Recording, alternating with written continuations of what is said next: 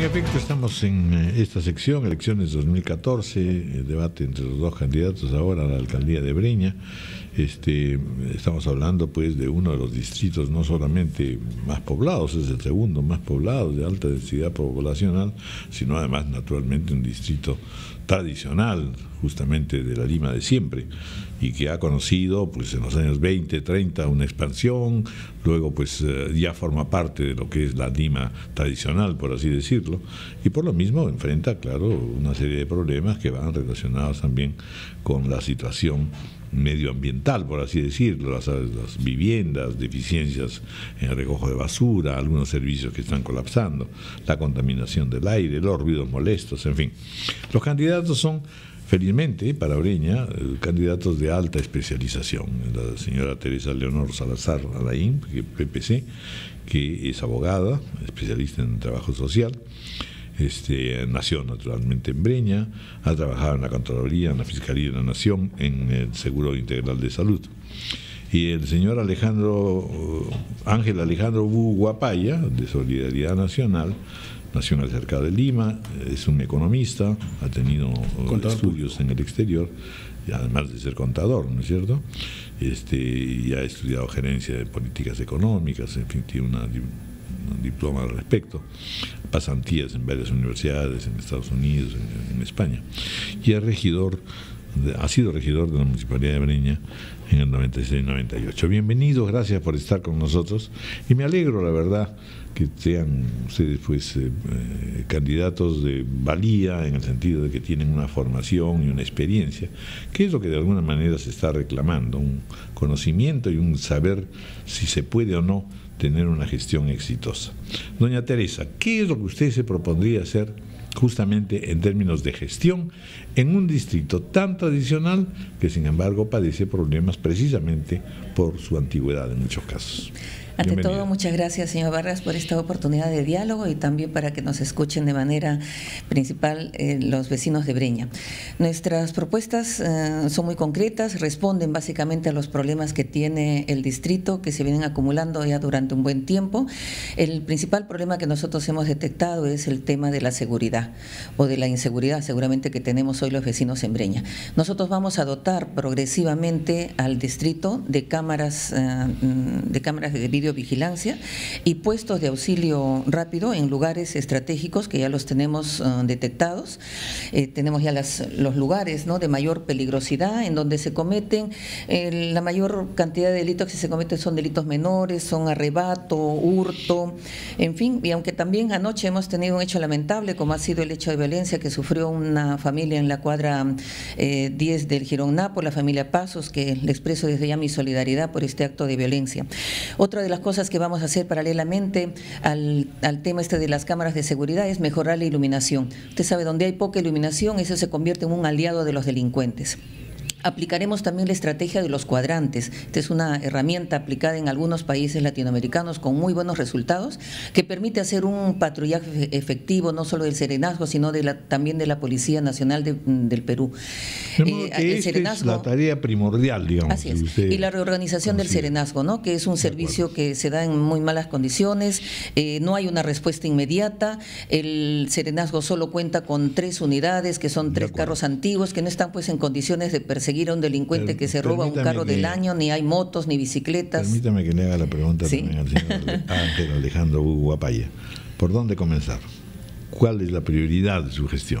Sí, si bien es, primero agradecerle la oportunidad, señor Vargas, eh, tenernos aquí y agradecer también a nuestro presidente y líder de nuestro partido, Luis Castañeda Locio, y por ende llegar a nuestros vecinos de Breña. En primer lugar, de acuerdo a las estadísticas que se han llevado a cabo y a las encuestas, el principal problema que tiene el distrito de Breña es la inseguridad ciudadana que tenemos actualmente. Y para ello nosotros, como Solidaridad Nacional, vamos a mejorar la seguridad ciudadana porque actualmente en las calles de casi todo el distrito y los puntos críticos son Chamaya, Parecoto, Orbegoso, Zambamba, son calles desoladas y donde falta iluminación. Pero nosotros vamos a colocar no solamente en las cámaras de video, pero tienen que ir con cámaras de video y altavoces para persuadir a los ladrones que constantemente nos acechan. Con unidades móviles, con unidades motorizadas especialmente, y una vigilancia constante las 24 horas del día, que como hoy no tenemos la oportunidad de tenerlo. Sin embargo, es importante decir que los, los serenos deben ser capacitados, porque socialmente, eh, psicológicamente, evaluarlos. Eso es muy importante para poder tener un serenazgo excelente. Lógicamente también con las, los centros de monitoreo, que son muy importantes. Yo iba a, insistir un poquito en justamente el tema urbano, que es muy complejo y en general en muchos distritos se vive eso.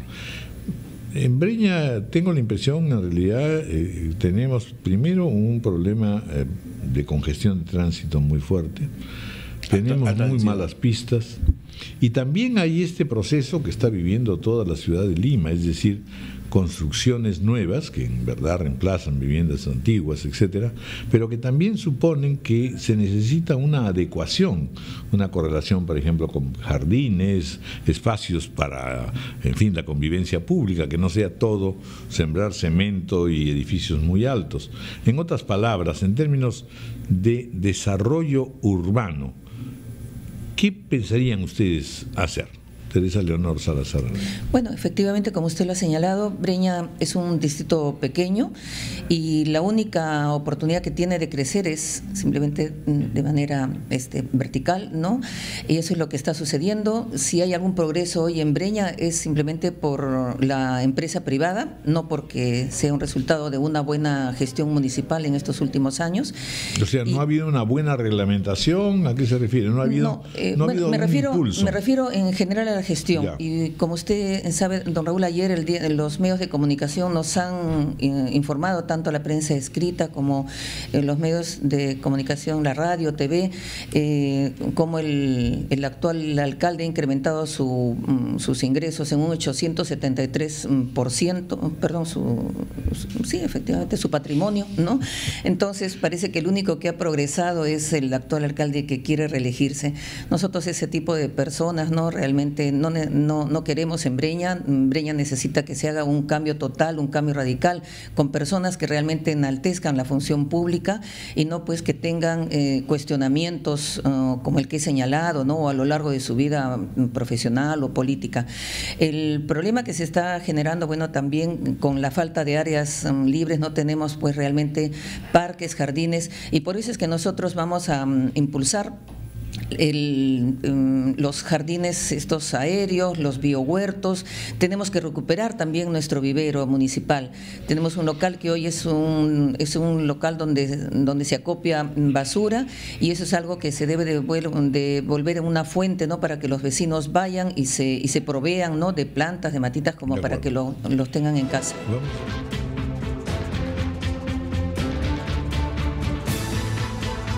Entonces, de la ciudad y cómo favorecerla, el tema de los, de los verdes. Y luego, en realidad, cuando yo hacía referencia a las construcciones, efectivamente, como nos ha dicho la señora Teresa Leonor, este, es uno de los factores que ha permitido también el crecimiento y desarrollo del distrito. Pero claro, la función vigilante de la municipalidad al respecto también es útil. Es decir, que no se exagere, en fin, como está pasando en varios otros distritos, en construir por construir. A ver, díganos un poco cuál es su impresión y eh, a ese respecto, eh, ¿qué imagina usted que haría Ángel Alejandro? Con relación al crecimiento demográfico de nuestro distrito, es cierto, se están construyendo muchos edificios, Breña está creciendo verticalmente, pero lo que no se han puesto a pensar es que en algún momento van a colapsar las vías troncales de agua y desagüe. Así es. Porque estamos creciendo por, poblacionalmente. Sin embargo, nosotros tenemos que, desde el momento que entremos a trabajar en el distrito, lo primero que vamos a hacer es contactarnos con CEDAPAL, con esa institución que verifique bien el estado en que se encuentren todos estos conductos, porque Breña tiene 65 años y lógicamente va a colapsar desde el momento que viene este crecimiento. Primer punto. Segundo punto, los, es importante establecer los pisos, la cantidad de pisos que se van a construir en el distrito de Breña, los edificios que se construyen, porque no podemos permitir que de la noche a la mañana estén dando licencias para 20, 18, 15 pisos, cuando realmente no se ha hecho el estudio correspondiente. Pero lo más importante para nuestro distrito es que los vecinos vamos a darle una orientación de la titulación de los predios, porque Breña realmente tiene un problema de titulación. Por lo tanto, nosotros vamos a darle la oportunidad de asesorarlos en titular sus viviendas, contar con sus papeles en regla. Además, es importante también que las construcciones deban tener la supervisión debida para poder construir. De acuerdo. Bueno, pues justamente esta es un área interesante. Vamos ahora a ingresar un poco a este otro tema que tiene que ver en realidad con las pistas y con la formalización, que ya lo ha mencionado usted justamente, Ángel Alejandro, pero la comercialización, sobre todo la formalización en el comercio. ¿Cómo va el sistema de mercados? ¿Cómo va, cómo va todo lo que es? En general, la ciudad de Lima está padeciendo de que crece, pero no es una ciudad que esté creciendo al servicio del ciudadano necesariamente. El ciudadano lo que necesita es áreas verdes, necesita mercados, necesita pistas, necesita saneamiento, necesita, la confianza de saber que está viviendo en una comunidad integrada, segura. Y entonces eh, la capacidad del alcalde tiene que reflejar un poco eso, dar tener una vocación, demostrar que tiene una vocación de servicio, ¿no es cierto? A ver, en términos de mercados, en términos de pistas, en términos de cosas concretas, ¿qué piensa Teresa Leonor que debería poder emprenderse? Bueno, el problema de las, las veredas, las pistas, eso es algo generalizado en todo el distrito, lamentablemente. ¿no? En estas últimas décadas no se ha hecho absolutamente nada y ese es un problema que lo vemos en, cualquier sitio, ya sea en el centro, en cualquiera de los extremos del distrito. Usted conversa con un vecino de a pie y lo primero que le va a decir, el problema de las pistas, ni siquiera hay esos accesos para las personas eh, con alguna discapacidad. Nosotros vamos a hacer una, una programación porque no vamos a poder hacerlo esto ni siquiera en un solo periodo, don Raúl. Así es. Y esto es algo que tiene que obedecer a una, una programación de manera tal de que vayamos cubriendo las, las diferentes vías y como usted ha dicho, nosotros en Breña también tenemos algunas vías que son de alto tránsito, porque Breña sirve de enlace no solo a Lima, al Callao, sino también a muchos distritos y está en realidad en una situación estratégica. ¿eh? ¿Ah? ¿Perdón? La avenida Tingo María, digo. Claro, la avenida Tingo María y no solo la avenida Arica, la avenida Venezuela, la avenida Bolivia, en la avenida Arica ahora se forma una congestión vehicular desde la altura del colegio La Salle en horas puntas. Mm, terrible la cantidad de, tiempo que uno se demora en llegar, ¿no? Claro, ahí en realidad también hay que tener mucha coordinación, pues tanto con la policía como con Lima Metropolitano. Así es, exacto, porque son vías que mm, precisamente corresponde, le corresponde a Lima, ¿no? Regular, y que nosotros tenemos que hacer un, un trabajo coordinado con Lima, porque bueno, en cuestión de transporte a nosotros como gobierno distrital nos corresponde ver y regular la, el otorgamiento de las licencias para las ah, para los vehículos ah, de, menor transporte, público. Sí, pero a los mototaxis básicamente, ¿no? Así es, ¿no? No los vehículos menores, exacto. El señor Ángel Alejandro Bueno, en realidad, eh, en primer lugar, los eh, con respecto al transporte, definitivamente debe haber una correlación y, coordinación con Lima Metropolitana y el Ministerio de Transportes, porque no, no podemos permitir que siga el transporte pesado por la avenida Arica, por ejemplo, cuando en horas puntas pues este es un atolladero. Eh, la avenida Venezuela eh, está, hay que parcharla definitivamente por los constantes este, deterioros que tienen las pistas y porque realmente el transporte pesado constantemente llega a estas avenidas. Por lo tanto, si bien es cierto, deben tener un horario, hoy, tanto el día como la noche, pasan por, esa, por esas avenidas. Es por ello que tenemos el deterioro de pistas y veredas y nosotros vamos a reactivar eh, el trabajo que se viene haciendo con respecto al parchado de pistas, la recomposición de, digamos, de todo el, aspecto vehicular eh, es importante porque nosotros, hay muchos, muchas personas de la tercera edad, adultos mayores, que se caen en las veredas. Y algo más trascendental es de que los rompemuelles no son hechos técnicamente, ya son rompecarros. Entonces, todo eso es, corresponde a un cronograma de trabajo y, de hacer realmente nuevas estructuras de pistas y veredas. Por lo el tiempo nos va ganando. Palabras finales, muy breves cuál es el símbolo, en fin. Ya, muy bien. Bueno, ante todo. Leonor Salazar Alain. Quiero que los vecinos de Breña, de manera especial, eh, sepan que me comprometo a solucionar los problemas que tiene nuestro distrito.